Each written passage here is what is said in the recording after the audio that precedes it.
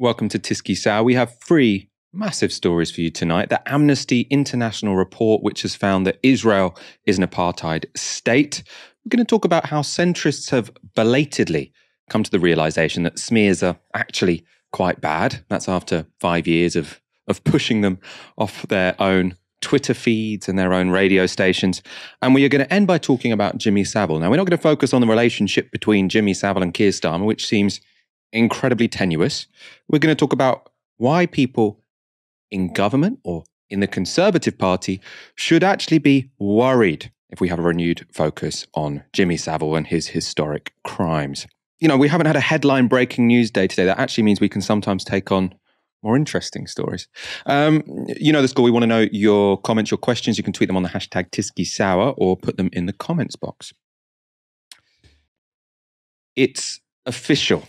Israel is an apartheid state.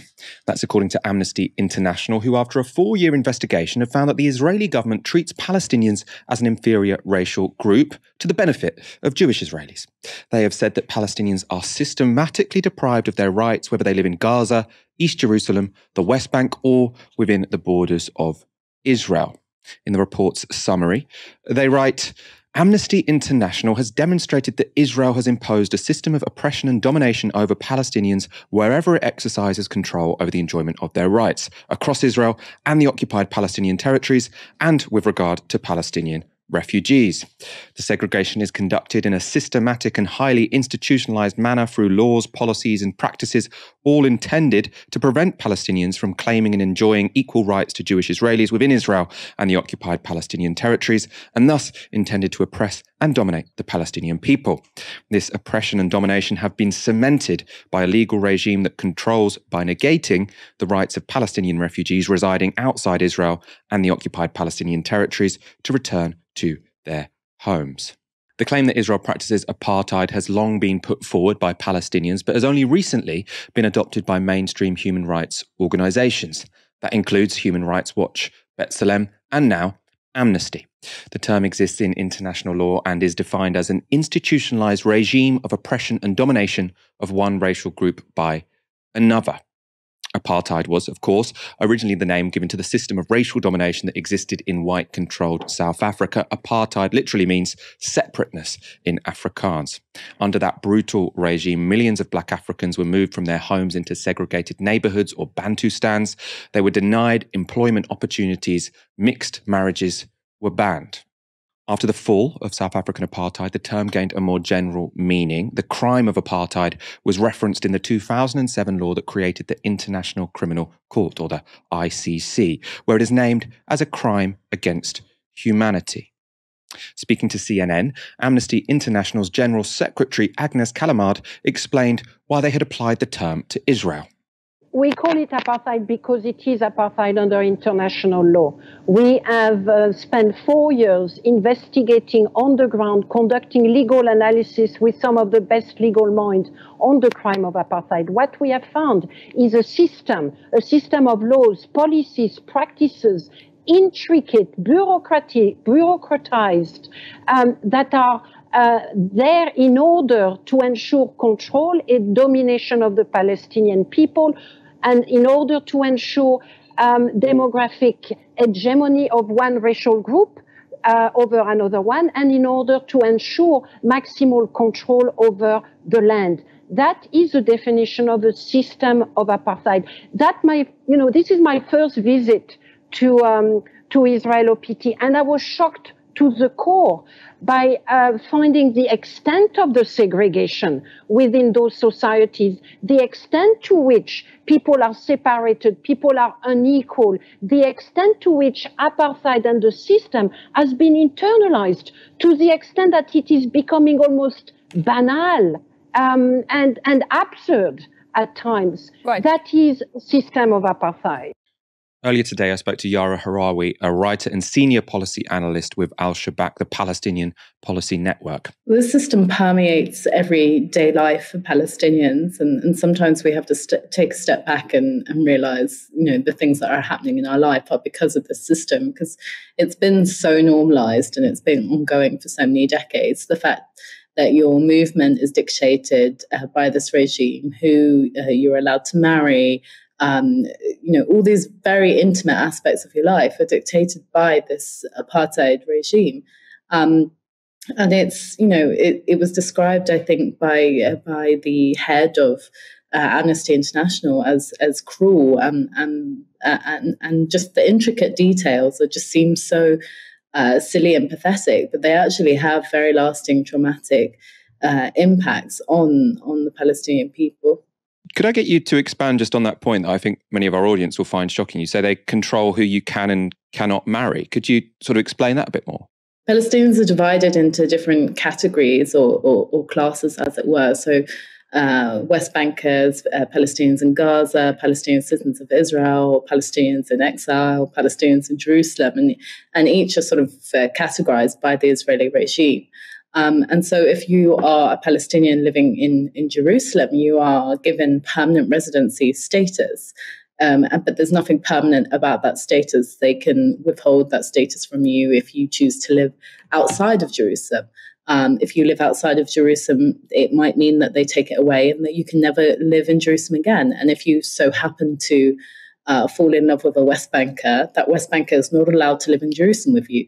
So quite often, Palestinians are forced with the choice of of having to choose uh, the person that they love or the city that they love. Um, and so it's really it boils down to these very sort of uh, intimate uh, invasions in, in, into life. And the same for a Palestinian citizen of Israel. If they uh, choose to, to marry a West Banker, they have to make that choice whether to live in the West Bank or whether to live um, inside the 48 territories. We've seen in the last year or so, B'Tselem, Human Rights Watch, Amnesty all now come out and say that Israel is an apartheid regime. Do you think that reflects a worsening of the situation on the ground and so all of these human rights organizations now have, come out and said yes now it now it meets that threshold or do you think something else has changed that the, the reality on the ground has been the same for a long time but potentially something has changed in in those organizations or in that human rights scene I definitely think the regime is being cemented on the ground. You know, every day that passes, you know, there are more facts on the ground, more settlements being built. Um, the Israeli regime is is becoming more intricate with its system of oppression. I don't know whether that necessarily means it's a worsening in terms of the daily experiences of, of Palestinians. But what I think is happening in the human rights community is this is this shift uh, that's sort of reflecting um, what the Palestinian street has been saying for decades. You know, this is one system of oppression. Uh, from the Jordan River to the Mediterranean Sea, and it manifests itself in different ways. I think the thing with the Israeli human rights organizations recognizing that this is an apartheid regime says a lot more uh, about them coming to terms uh, with the reality than it does about the, uh, the, the actual situation for Palestinians. These human rights organizations coming out with, you know, these you know very definitive statements. I think that will be influential among you know the international progressive scene. Um, potentially, it will be easier to put pressure on on some Western governments, although that's kind of up in the air. How will the Israeli government interpret this? Will they in any way look at this and think, oh, you know, we've we've been found out. We need to in in some ways change our ways or make our oppression a bit more subtle? How, how do you think they're reading this report? We've already seen how they've responded. They came out ahead of the report saying that this was going to be an anti Semitic document, that Israel was being singled out, um, usual by the human rights crowd, and focus on China or Iran. Uh, which is amusing because Amnesty does focus quite a lot on China and uh, Iran. But this whataboutism is, is really a distraction. The Israeli regime uh, has been given this, this green light by the rest of the world. And by that, I mean it, the rest of the world is entirely complicit in the Israeli regime of apartheid, not only through various different trade agreements and, and technology exchanges, but also weapon sales. You know, the British government is very complicit in the Israeli apartheid regime. And, and you know, just to add salt to the wound, there's currently a, a British uh, government trade delegation in Israel posting about being in Israel when they're actually posting pictures from East Jerusalem the day after Amnesty releases this damning report. Um, so I don't think there's going to be any seismic policy shifts. I don't think the Israeli government is going to be more subtle about their apartheid regime because they don't need to. the you know the Western world, uh, for the most part, is very comfortable with their relationship um, with the state of Israel. Lots of our audience watching this will be in Britain. We do have people watching from from all around the world. If people have you know, looked at the contents of this report and they're outraged, what do you think people can possibly do to try and change the situation on the ground? The easiest way that people can stand in, in solidarity with the Palestinian people is to join the, the Boycott, Divestment, Sanctions movement, which is a, a grassroots Palestinian led movement um, that has uh, branches and has groups all over the world working together in tandem uh, for the, the, the, the, Palestinian struggle and for Palestinian fundamental rights. It's modeled on the anti apartheid South African struggle, um, which saw great success in boycotts and divestment and sanctions. Um, and indeed, the, the Palestinian BDS movement has been very successful in its boycotts and in its divestments. Where we now need to focus is on state sanctioning. And it is indeed a long way off. But I do think uh, with enough pressure from uh, people around the world, there is a possibility uh, for that change to happen and for governments to to follow suit, just as they sanctioned uh, South African apartheid. Um, I think it is entirely possible that we might see uh, governments sanctioning Israeli apartheid. Not in the near future, but I think it's a long term goal that we can certainly work for. It might be far in the future, but do you have an idea of what those sanctions would look like? Would you be sort of envisioning a sanctioning of of people in the government and people close to them, or are you you imagining kind of export bans from from Israel? What what kind of sanctions would you be calling for for other countries to be imposing? All of the above, I think, uh, and the Amnesty report actually offers um, some uh, good uh, recommendations for third state parties. That includes uh, uh, stopping weapons uh, sales to the Israeli regime, and that's something uh, that I think everyone uh, who, who supports the Palestinian struggle should be campaigning for, but also uh, going after individuals, Israeli individuals who have committed war crimes, who have been, um, um, you know, played major roles in the apartheid regime. Uh, third-party states should be should be exercising their universal jurisdiction to hold those people accountable when they're under their own just, uh, local jurisdiction. Um, so I think there are plenty of mechanisms, uh, legal and otherwise, um, to to hold Israel accountable. But I think there needs to be a, a really a global shift in politics uh, before that starts to happen. Let's go to a comment. So, Saul says one factor that helped defeat apartheid in South Africa was mobilizing international opinion to view it as a pariah state. This is what apologists of Israel apartheid are fighting hard to present, um, prevent. Sorry, absolutely. I mean, we we are seeing now the pushback against this Amnesty International report, both from you know officials within the Israeli regime, but also um, from many people in British politics, which is going to be the topic of our next section. The release of Amnesty International's report into Israeli apartheid is a good time to remind ourselves of how deeply Britain is implicated in the crimes of that regime. Most directly, that's because we supply Israel with some of the weapons used to enforce apartheid. Between 2016 and 2020, Britain sold 387 million pounds worth of weapons to the regime, making Israel our eighth largest weapons market. British made arms have been used against the Palestinians, including in airstrikes in Gaza. Britain has also been instrumental in shielding Israel from accountability for their crimes. Boris Johnson has opposed an international criminal court investigation into Israel's 2014 bombardment of Gaza. In a 2021 letter to the Conservative Friends of Israel, he wrote, We do not accept that the ICC has jurisdiction in this instance, given that Israel is not a party to the Statute of Rome and Palestine is not a sovereign state. Translation Because Israel won't agree to follow international law, they shouldn't be punished when they break it, and because Palestinians have been denied a state, they should have no means to stand up for themselves. So, our Tory government sells weapons to Israel and blocks investigations into how they are used. They also increasingly want to deny anyone the chance to protest that reality.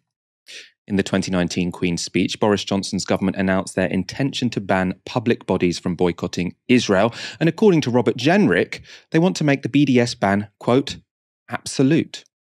Just last week, Education Secretary Nadhim Zahawi said those using the chant, From the River to the Sea, Palestine will be free, could face legal action.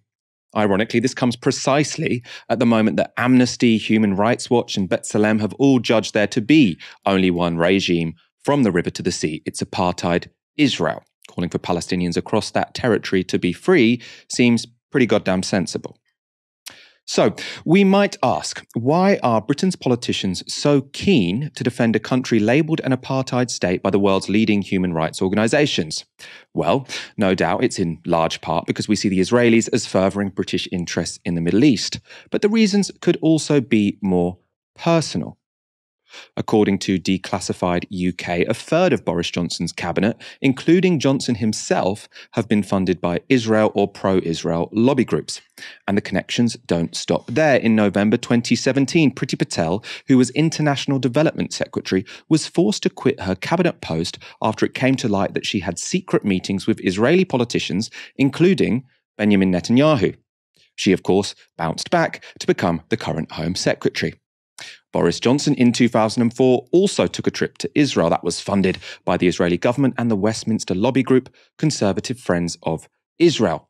It took him four years to declare the trip in the register of members' interests. Finally, we can look at Michael Gove. In 2017, Gove received more than £3,000 from AIPAC, the largest Israeli lobby group in the US. And here he is, speaking at the Conservative Friends of Israel business lunch in 2017 a beacon of democracy in the Middle East, a land of laws and liberty in a region scarred by extremist ideology and military oppression, an incubator of life saving technologies and liberating innovation in a neighborhood where others hold lives cheap and want to keep people in a state of medieval servitude, and a home for the Jewish people who at last have a land they can call their own after millennia of prejudice and oppression long centuries when their very existence was under threat. Israel truly is a light to the world.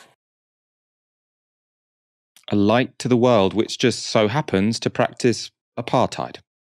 Of course, support for Israel is not just a Tory thing. Since the toppling of Jeremy Corbyn, it enjoys bipartisan consensus. On previous shows, we've discussed how Keir Starmer believes Israel made the desert bloom and now, following Amnesty's report into apartheid, NEC member Luke Akehurst has claimed Amnesty's apartheid slur is an attack on Jewish self determination. Now, I still do find the I mean, the consensus, the near consensus at the top of British politics here incredible. And especially as we are seeing all of these human rights organizations coming out, they haven't said this for a long time. Obviously, people on the ground in Palestine have been saying we live in an apartheid regime for a very long time. It's only recently that these incredibly mainstream human rights organizations, including Amnesty International, which has about 10 million members, by far the biggest human rights organization in the world, are saying, you know, in black and white, this is an apartheid regime it's at that point that you might think that you would see the parties competing over who is more supportive or, or who is more implicated in that apartheid. So I would hope to see, you know, in a civilized country that you've got the Labour Party saying, look, guys, why did you send why did you sell these weapons to to Israel? Why are you accepting donations from Israel? Why did you have secret meetings with Israeli politicians? Those are the kind of questions which would be thrown around if we were talking about an enemy of Britain like Iran or potentially even China. But because this is a British ally, no. And in fact, this isn't just something which is going unnoted by our political leaders. It's not just that this is being brushed under the carpet. No, our political leaders actively celebrate their relationship to the Israeli government, which is practicing apartheid. And they don't just celebrate that relationship, they try and suppress the right of anyone else to have a different opinion. You see, Keir Starmer now as leader of the Labour Party, because of what happened under Jeremy Corbyn, he has to say, oh, the Palestinian movement, it's full of anti Semites. Um, it, it's inherently suspicious if anyone thinks that Zionism might be an ideology which has some problems inherent to it.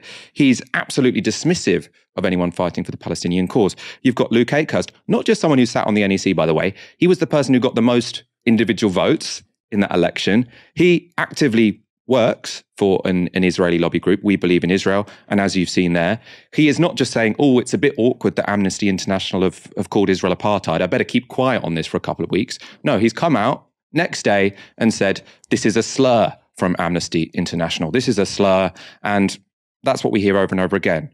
Uh, no one seriously wants to engage in the facts of the matter and say, oh, no, no, uh, Palestinians, they do have equal rights, because no, they don't. They clearly don't have equal rights. They're occupied in parts of historic Palestine. In Israel, even if they have citizenship, they, they're treated as second class citizens. In, in Gaza, they're bombed every five years, right? So these are not a people with equal rights. And that's not an argument that anyone whose job it is or anyone who has an interest in defending Israel will make. So instead, they say, oh, apartheid, that's a slur.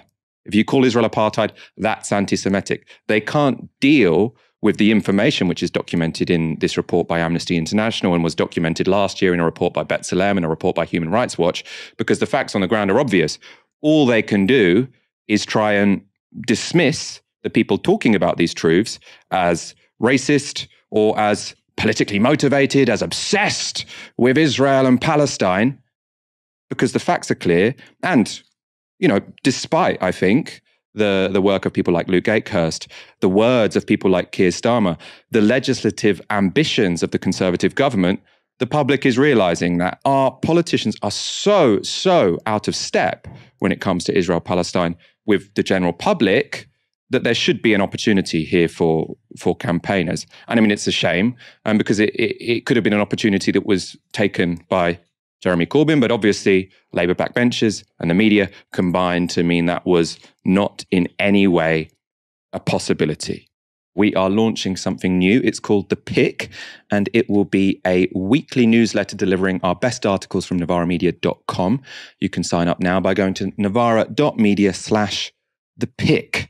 If you do so, which I recommend you do, you can expect first person accounts, political analysis, and reporting that you are unlikely to find anywhere else. And that link I mentioned is in the description box below if you want to sign up. After the publication of the Sue Gray report into Downing Street parties, Boris Johnson said this to Keir Starmer in the House of Commons. He spent most of his time prosecuting journalists and failing to prosecute Jimmy Savile, as far as I can make out, Mr. Speaker. That was a smear. While Keir Starmer was Director of Public Prosecutions, when it chose not to prosecute the case, he had no direct relationship, no direct involvement in that decision. And when the decision was made, Starmer had only been DPP for a year. So it's difficult to say, well, this was the culture he created. All that means that Boris Johnson is not making a genuine point there. He is tapping into a right wing meme that somehow Starmer let Savile off. And he didn't. Evidence of the tenuousness of Johnson's attack was that his cabinet colleague Dominic Raab refused to repeat it the following day. I'm, I'm certainly not repeating it. I, I don't have the facts. Well, why don't you repeat it if the Prime Minister I, believes it? Why well, wouldn't you repeat it? Look, I, am not repeating it. One thing I would say, though, Nick. No, no, no, no, no. Yeah. The no, Prime I'm not, Minister I'm not, I, don't, I don't have the facts to makes, justify that. Well, does he have the facts? But that's for, for him to be. But all I'm does saying is Does any minister have evidence of what the Prime Minister said under the protection of parliamentary well, you, I, I, haven't done a trawl of uh, ministers to, to check that. What I'm saying to you is that, that I can't. Well, uh, we can get him in if you like. You are his deputy. okay. Who else do you want me to ask? So, well, Nick, you can ask me, and I'm saying I can't uh, substantiate that. Tory MPs even tweeted calling Boris Johnson out for the smear. Julian Smith is a former chief whip. He wrote, The smear made against Keir Starmer relating to Jimmy Savile yesterday is wrong and cannot be defended. It should be withdrawn.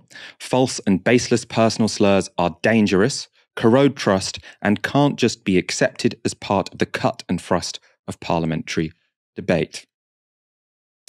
In terms of the impact of all this, there are two theories about how this will affect Starmer and Johnson. One is that by saying what was clearly a smear in Parliament, Boris Johnson only furthers the impression that he's a cynical liar. The other theory is that it really doesn't matter whether journalists and politicians debunk Johnson's claim. On the day after a report into government rule breaking, there was a public debate about Keir Starmer and a prolific paedophile. And for Boris Johnson, of course, that's a good thing. Personally, I think the jury's out on what the consequence of all this will be. It could go either way. What's clear already, though, is that Keir Starmer is playing to different rules than his predecessor. When Starmer was smeared by the Prime Minister, Tory backbenchers defended him. When Corbyn was smeared, his own backbenchers would join in. This double standard doesn't just concern MPs. Britain's well paid centrist prophets have suddenly also come to the realization that smears are bad. LBC host James O'Brien tweeted The Savile lie is the most Trumpish yet, I think. Every sentient Tory MP knows he's lying, but they can't call it out without calling Johnson a liar, and they can't do that without unhitching themselves from him. The ones who find the courage to do the right thing should be thanked. It is, of course, fantastic that James O'Brien is now calling out politically motivated smears, but it's notable how these comments from the author of books including How to Be Right and How Not to Be Wrong contrast with what he had to say for the four years Jeremy Corbyn was leader of the opposition. In 2016, he tweeted, Do you think Putin could get Corbyn into Downing Street? In brackets, Vladimir, if you're reading this, it's a theoretical question, not a challenge. In 2018, he tweeted, You're perfectly entitled to be untroubled by the fact that a KKK leader thinks he's on the same team as Corbyn regarding, quote, Jewish establishment power. But telling other people that they're not allowed to find it deeply disturbing is a bit, well, fascistic. So, in 2018, calling out smears was fascistic. But in 2021, when you happen to like the leader of the opposition, anyone who doesn't call out smears should be ashamed. Finally, in the mis- misinformation stakes, this is right up there from 2019. Putin's got Farage and Seamus Milne doing his bidding. A ridiculous conspiracy theory repeated by James O'Brien you know, in the year when it mattered, when Jeremy Corbyn was still Labour leader and there was a general election coming up. Of course, more significant than what James O'Brien said on his Twitter feed was what he said on his LBC show. That was to 1.3 million weekly listeners. But it would take, of course, a whole show to go through the bullshit he spouted there. We're not going to do that. I don't have time because I have one more centrist prophet to show you. Otto English is the pen name of writer and journalist Andrew Scott. He came to fame writing anti Brexit diatribes in Politico and the Byline Times. After Johnson's Savile smear, he tweeted, I have no beef with those on the left who dislike Starmer. Personal choice and all.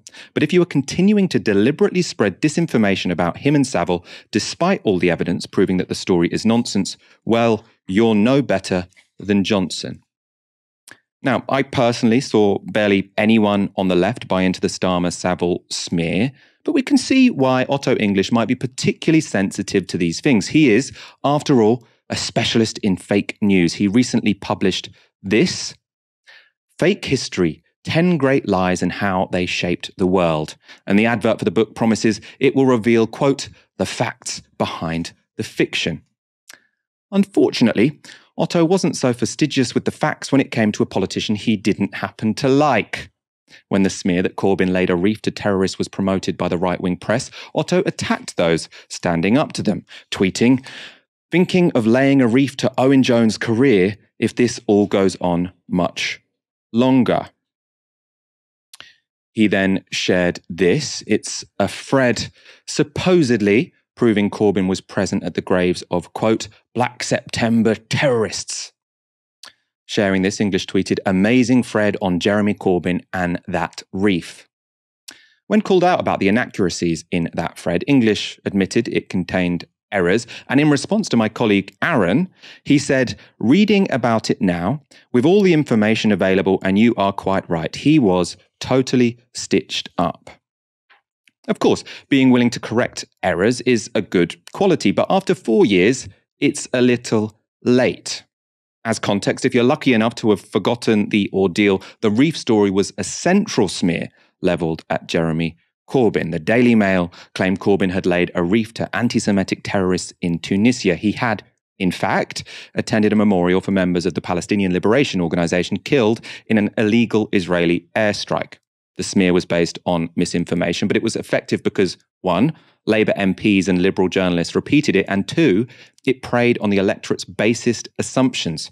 Corbyn was supportive of liberation movements in the global south. Therefore, he sympathized with terrorists, therefore, he was an extremist, therefore, he hated Britain. Those broader terrorist and extremist smears were ones liberals like Otto English were more than happy to support when it mattered. In 2019, he tweeted, I condemn absolutely anyone who unequivocally supports terrorist organizations. That's one reason why I don't vote Labour anymore. I think Corbyn's unrequited support for terrorist groups is utterly beneath contempt. Just one year earlier, he had declared, The truth is that on Russia and Syria and Brexit, next to nothing divides Nick Griffin and Jeremy Corbyn. Might be unpopular to point this out, but there you go. Now, I've given you two examples there Otto English and James O'Brien. Not necessarily people who should occupy too much of your time when you're sort of analyzing politics and, and working out what's going on. But I do think this is incredibly significant because while I don't, you know, I don't like to obsess about the past five years because, you know, one, it's incredibly frustrating, and also I think it's it's better to look into the future. I do think the role that the liberal media and actually more than anyone, centrist Labour MPs played in furthering the smears against Jeremy Corbyn and you know anything that was thrown at him by the Conservatives or by the right wing press, they repeated. And for me, that's why it's stuck. Because with Keir Starmer, as I say, I don't know which way this is going to go. It could be the case that now people associate him with Jimmy Savile and some of them don't vote for him. I doubt many people who, you know, take that seriously would have voted for him anyway. What happened with Jeremy Corbyn was was quite different because it wasn't just people saying, oh, right wingers think Jeremy Corbyn is a terrorist sympathizer. Right wingers think Jeremy Corbyn is an anti Semite. I don't really respect them anyway, so I don't believe them. I think that, that's what will probably happen with Keir Starmer in this story because it's only Boris Johnson, some of the most well, in this case, you know, the most obviously right wing papers that are saying it. So if you are inclined to vote Labour, you'll say, well, they're only saying that because it's Boris Johnson. He's the opposition. They're only saying that because these are the right wing papers and they would hate Labour anyway. Why people found it believable with Jeremy Corbyn was because they said, well, these smears which begun in the Daily Mail, they're now being repeated by the, the, the, the liberal guy I listened to on LBC. They're now being repeated by Labour backbenchers. If all of these people who, in my vision of politics, where you have the left and the right, if all these people on Corbyn's side thinks he's dodgy, thinks he's a terrorist sympathizer, thinks he's an anti-Semite, then maybe it is true. And that's why, to my mind, when it comes to the downfall of, of Corbyn and you know the hit job essentially the British establishment managed to play on him, it is people like the James O'Briens, the people like the Otto English, the people like the Labour backbench MPs, who probably have more responsibility than than anyone else. Because the people who, you know, if you've said your whole life, my ambition is to destroy the possibility of socialism in this country, if you've said your whole life, look, I hate the left and I hate the Labour Party, then when you successfully manage to undermine the prospects of Jeremy Corbyn as Labour leader, you know, I disagree with you, but you know, fair play. That's your side that's what you've always stated that you wanted to do. You've always said you want to destroy the left and the possibility of a progressive government in Britain, and you did it. When it comes to Labour backbenchers, when it comes to these liberal pundits, they are people who will now say, Oh, Boris Johnson, how did we end up with this prime minister? And we ended up with this prime minister because when the Murdoch press made stuff up about the Labour leader, when there were conservative attack ads against the Labour leader, which were completely based in fiction, and by the way, you know, appealing to the basest, most racist, xenophobic, cruel assumptions of, of parts of the British electorate. You didn't say, wait a minute, maybe they're smearing this guy. Maybe we shouldn't trust um, Britain's oligarchs, right wing press, and conservatives when it comes to judging a guy. Maybe we should look a bit deeper into these claims instead of mindlessly repeating them. But no, they mindlessly repeated them. They mindlessly repeated those smears. They took the Times, they took the Daily Mail at face value, all of these people who were supposed to have critical thinking, and now we have Boris Johnson as Prime Minister. And what will happen actually? This happened with the conversation between Aaron and, and Otto English. Otto English said, Well, by the way, if you if you look up Corbyn Reef from my Twitter, then you'll see that actually on, on one occasion I did stick up for him. The occasion he stuck up for him was when there was that ridiculous story about either did Corbyn bend low enough at the um, cenotaph, or there was another story I think about the anorak he wore um, to the cenotaph, and Otto English is saying, "No, I spoke out against that smear." But that doesn't really count for much, and you hear this a lot. People say, "Oh no, I spoke out." Lots of people say, "I spoke out about the Czech spy smear." But if you only spoke out about the most obvious smears, the ones which were clearly untrue, and all of the ones which had, you know, because you know the best smears have a tiny element of truth right? Keir Starmer was leader of the CPS when they didn't prosecute Jimmy Savile. That's not completely outlandish as a claim, but it counts as a smear because what Boris Johnson is trying to do is create an association between Jimmy Savile and Keir Starmer in the public's minds, which, if you look at the full information in front of you, is not justified. Keir Starmer had been director of public prosecutions for a year when Jimmy Savile wasn't prosecuted. I don't think anyone's suggesting that anyone, you know, personally made a decision which was, you know, corrupt or which was intentionally letting him off. And afterwards, Keir Starmer admitted, look, there's something that went wrong in this organization. We're going to have a review of this. He apologized on behalf of the CPS. So it's not a complete lie in the same way that the Czech spy one was. And these smears that I've just talked about against about Corbyn, you know, he did go to a cemetery where people who were very high up members of the PLO were buried. Now, some people think that high up members of the PLO were terrorists, right? Because they, you know, most people who are part of liberation movements, by the way, unless they were completely 100% committed to nonviolence, there will be many people who consider them terrorists, right? So there is an element of truth to that. But if you look at the full context, why is, is this association that people have of Corbyn with terrorists fair? No, Corbyn was associating with the PLO, which was, by the way, the legitimately recognized representative of the Palestinian people by the UN, amongst others. Now, there were some people in that graveyard who some people will disagree with, but essentially, you have a politician visiting, you know, what I think is overwhelmingly uh, uh, a group which a bunch of freedom fighters, right?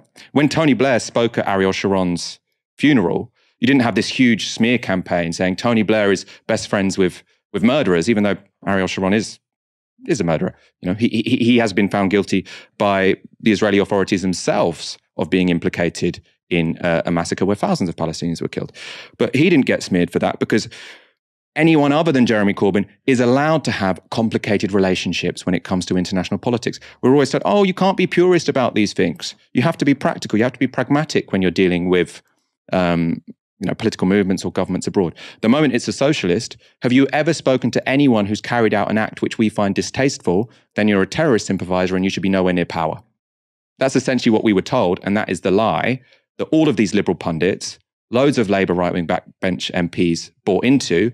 And so when Corbyn was seen as anti patriotic, as a terrorist sympathizer, when there were members of the army doing shooting practice, with his face, it's no good to just say, oh, well, I called it out when they called him a Czech spy. No, you have to also call out the ones which were more powerful because they weren't obviously outlandish lies. They were just completely misleading, which is the case with Keir Starmer and Jimmy Savile. And Otto English and James O'Brien haven't now come out and said, well, actually, he was leader of the CPS when this happened.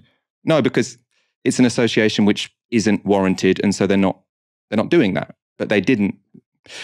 I suppose, show the same critical faculties, the, the, the same level of independent thought when it came to Jeremy Corbyn because they didn't like the guy. Let's go to a few more comments. Leica tweets on the hashtag Tysky Sour, read the Savile smears. It's not necessarily just about stopping people voting Labour. It's also potentially about motivating Tory voters to come out to vote and vote Tory rather than Reform UK. That could still work without left or liberal buy in. Yeah, interesting point. I, I, would accept that as being a possibility.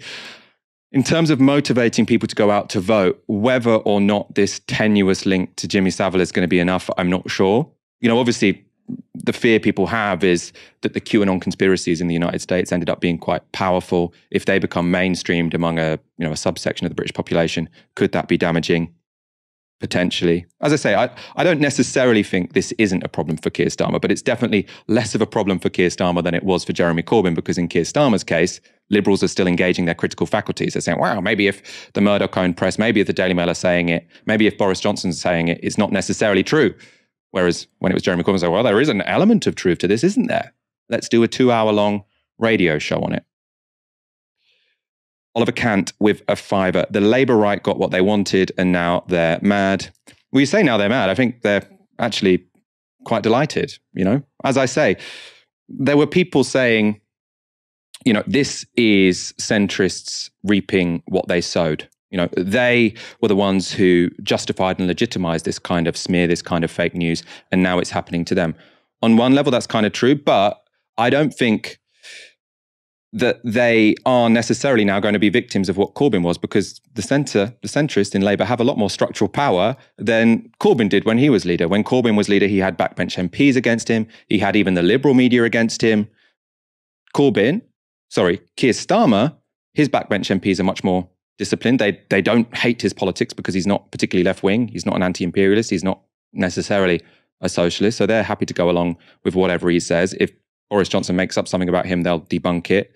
The Guardian will will debunk it. Even the BBC are debunking it, which we didn't see very often when it came to Jeremy Corbyn. So I do think the centre might unfortunately get away with it. We might not get poetic justice this time.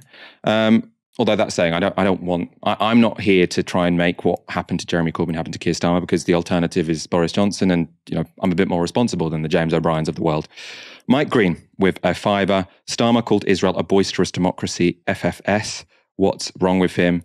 I did a whole um, segment on Starmer's speech to Labour Friends of Israel. It was absolutely appalling. Um, probably the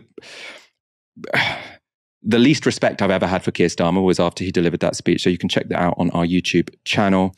And oh, that is unusual with two pounds. If you're in Eurovision, you shouldn't do genocide. IMO. Let's go to our next story. Johnson's Jimmy Savile slur against Keir Starmer has been met by outrage from a number of Tory MPs.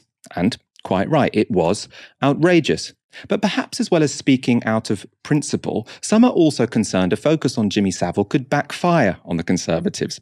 Because paedophile Jimmy Savile had a long history of friendships and influence with several Tory MPs, going all the way to the very top of the party. Hello, welcome. Come in. Hello. I must introduce all um, friends. I'm Lucy. You're Lucy. Um, when you were small, did you ever want to be the Prime Minister? No, when I was small, I don't think one ever thought that there could ever be a woman Prime Minister of Britain. You know, we didn't, Jimmy, in those days, did we? No, but we always hoped. We always hoped, all right. I thought you were going to fix my getting into number 10. I've already done so. But I was going to see you privately about that because I wouldn't want too many people to realise how I'd done it. Because they could all finish up with being Prime Then you can give me a Jim. Well, Jim has fixed it for me. Indeed, all indeed. Right.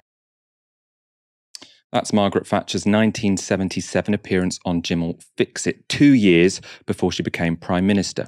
But Savile's relationship with Thatcher would last for decades.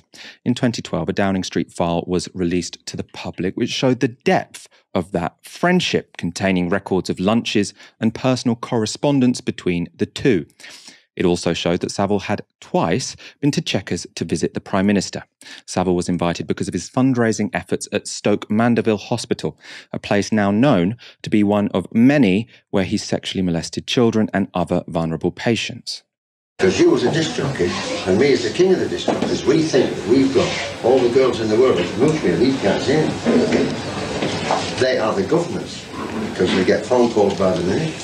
Sometimes they've got girlfriends queuing up downstairs. We only let them in one at a time, you see. And the only reason I'm friendly with people like this is because I nick what he doesn't want. Savile there saying the only reason he's friendly with his male teenage patients is so that he can nick the underage girls who come to visit. At one of these lunches, Savile asked Thatcher for donations, both personal and from the government. That was to rebuild Stoke Mandeville's spinal injuries unit. Thatcher agreed. She gave her own money, and later the government would chip in £500,000. He wrote her this thank you note Dear Prime Minister, I waited a week before writing to thank you for my lunch invitation because I had such a superb time, I didn't want to be too effusive. My girl patients pretended to be madly jealous and wanted to know what you wore and what you ate. All the paralysed lads called me Sir James all week. They all love you me Too, Jimmy Savile, OBE, Kiss, Kiss, Kiss. Savile would go on to spend New Year's Eve with the, Thatcher, with the Thatcher family on a number of occasions. In 1986, when Savile was rejected for a knighthood, Thatcher personally intervened. Thatcher instructed her private secretary to write to the Cabinet Office saying she wonders how many more times his name is to be pushed aside, especially in view of all the great work he has done for Stoke Mandeville. And it's not just Thatcher who's potentially implicated. In 1988, the then Health Secretary Ken Clarke suspended the entire management board of Broadmoor Psychiatric Hospital. Savile, who had been volunteering at Broadmoor for a number of years, was put in charge of the task force that replaced the management. This was approved by Junior Health Minister Edwina Currie. Essentially, Currie handed him the keys to a secure facility housing very vulnerable people. We are a great listening hospital. We listen to people. I listen to nurses. I listen to doc- I listen to porters. I listen to drivers. I listen to everybody. We've turned into a great listening hospital. When asked why she appointed him to the role, Currie later gave this explanation. What we were in the process of trying to do was improve the life of patients there because it was being run like a prison. And many of them were there for a very long time without having been convicted of anything, would eventually be um, able to go back to normal life. We wanted to improve the life of the people in there. And so we asked various people, chaired by a, a senior civil servant, to give us some ideas on how they felt the life of patients could be improved. And Jimmy made an appointment to see me, and um, I'm full of ideas, I'm full of lots of ideas. And then what he came up with was actually quite odd. And looking at it now, okay. I think I can see what he was getting up to. He'd gone through the payroll and found out that some of the prison officers were paying themselves more than they were supposed to get. He had gone through How the property... did he have access to the payroll? That's weird, isn't it? That's a good question. Yeah, okay. We had asked him to advise us on how to improve the lives because of the patients. Okay, but it's been presented as that you put him in charge of a task force that were well, kind of running the place. That's no. He was not in charge. Okay. Civil servant was in charge. But had you servant. appointed him to this task force? Do you know, I, uh, it's my, remem- my memory of it is that he offered himself okay. recommended himself. And you accepted him at the time. And I suppose sure, because everybody did. Yeah, you were, in a way you were duped by him as well because everybody was. In fact, when Savile told Currie his plans for reforming the hospital, which included union busting, Currie wrote "at a boy" in her diaries. Nor is it true that everyone was duped. Several staff within Broadmoor voiced their concerns about Savile. Well, I'd long considered him, as many of my colleagues did, as a man with a severe personality disorder with, with a liking for children. What was the talk among staff? He was regarded as a paedophile. By, by you, by the professional staff? And the paedophile patients, many of those knew that he was a paedophile. I'd say he was a psychopath. I would actually say he was, without a doubt. It's just the way his attitude was his, his, his blasé attitude to everything. He didn't seem to care or worry about anything. A lot of our staff always said he should be behind the bars, and we used to laugh about it in those days. Then, one night, while patrolling the perimeter fence, Bob Allen stopped laughing.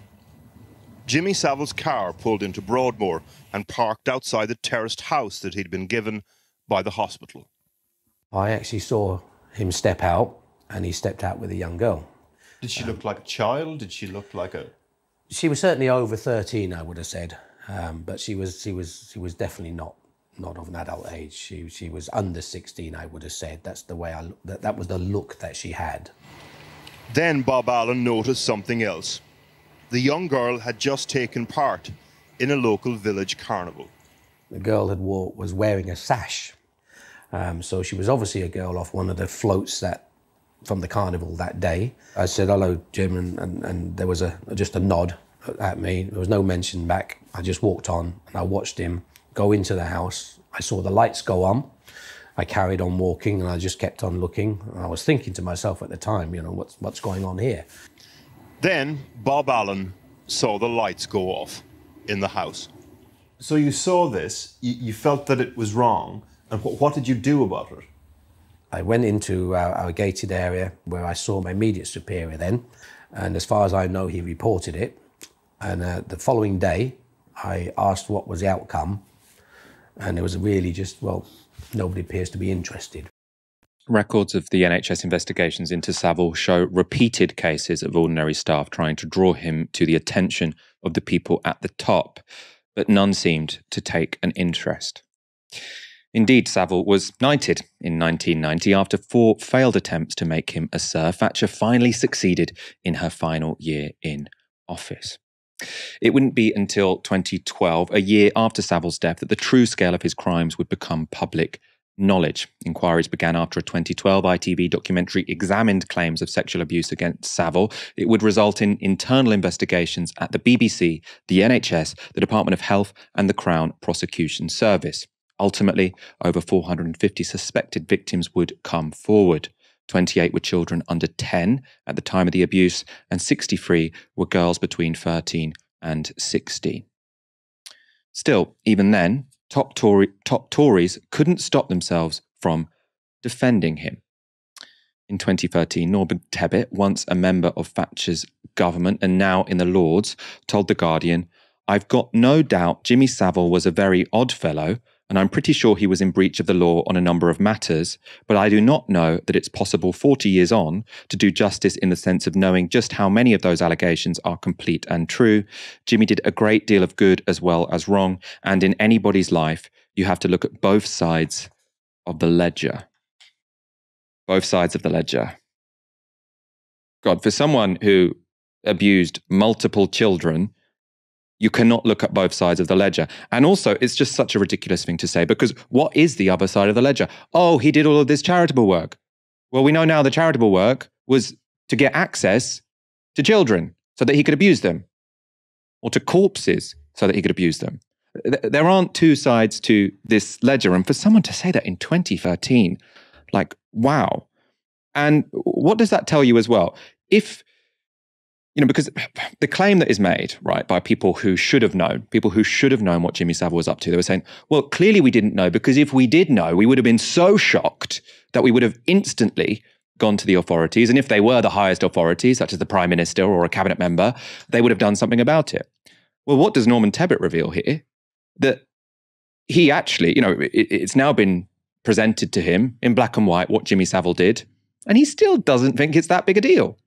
And, and that does make it plausible that they knew at the time and they didn't care because they didn't think that abusing multiple children in vulnerable situations was a red line. You know, this guy was a TV personality, he was making money for charity. Why shouldn't he get to abuse children? Now, obviously, I'm not saying Norman Tebbit said those words. I'm not saying Margaret Thatcher said those words. But you do see here what seems like a minimizing of what happened. And if people are willing to minimize what happened now or in 2013 after these revelations came out, then it's very easy to imagine how they would have minimized them if they knew about them at the time. And what you saw from those interviews with with members of of staff in places where Jimmy Savile worked or where he was placed or where he volunteered or where he was you know given a chairman role when it came to hiring people, they were saying, We all knew, we told people above us, and they didn't care. Now, as I say, I don't know all of the details of this, partly because Britain hasn't had a proper reckoning with this. I mean, this to me deserves a full public inquiry. But I mean, I, maybe there are too many people who want this to be brushed under the carpet, and so so that won't happen. Too many people are implicated. That's quite possible. But it seems plausible to me that if you've got those people who are in staff, they're telling their management about it, and their management don't care. One possibility is that you know every manager in all of these institutions was a sociopath who didn't care that you had Jimmy Savile walking around abusing children. The other possibility is some of them weren't sociopaths and they tried to go to the people above them, right? And it was the people above them who said, oh, no, actually, we don't want to look into this. Actually, can you just shut your staff up? This isn't a big deal. Or it could even have been the, the people above them. Because I think if someone gets away with something to this extent, you either have to have loads and loads and loads of sociopaths in middle management, or the problem goes right to the top. And you know, I have too much faith in in in humanity to think that there were that many sociopaths in middle management. So I think it probably went to the top. And who was the top during that period of time? Well, it was mostly Margaret Thatcher. It was mostly the Conservatives. And now you have the sight of Boris Johnson standing up in Parliament after saying that investigations into historic child abuse was just spaffing money up the wall. Now he's saying, ah, Jimmy Savile, that's Keir Starmer's problem. Well, even if Keir was director of public prosecutions for a year when they decided to not properly investigate Jimmy Savile, obviously they should have done. He then went to review it afterwards and apologized on behalf of the CPS for that. Boris Johnson has no right to stand up and make that claim about anyone else because it's it's his party more than anyone else that is implicated in this, and he has demonstrated by those words about spaffing money up the wall that he has absolutely no interest or whatsoever in one achieving any justice for these children or, or the multiple other people that Jimmy Savile abused, and two has no interest in making sure this will never happen again. Because unless you work out what really happened, who were the people who were told about this and then who told people to shut up about it? Oh, we don't look into that. Who were they? How were they allowed to get away with it? Unless we have solid answers to those questions, then it's going to be very difficult to make sure this this won't happen again. And I personally don't have much confidence that you know maybe not to the extent of this, you know, with, with, with social media and much more sort of ability for people to whistleblow. Maybe some of those staff, if they had Twitter, maybe one of them would have contacted a journalist, for example. I think something to this scale probably is much less likely now than it was then. But I have absolutely no confidence whatsoever that the British establishment has been serious enough when it's asked, or I mean, it's failed to ask, frankly, how was this able to happen? That something along these lines, even if not as extreme, will be able to happen again. And that, not not Keir Starmer being director of the CPS for, for a year at the point when this was not investigated, you know, in the late 2000s. You know, maybe there's a problem there, but the much bigger problem is that this was allowed to happen for decades when it seems kind of implausible that not a lot of people in very powerful positions had at least an idea of what was going on and thought this is not worth the time. It's not worth intervening. Let's just let it happen. Thank you so much for joining me this evening. And we'll be back on Friday at 7 p.m. You've been watching Tysky Sour on Novara Media. Good night.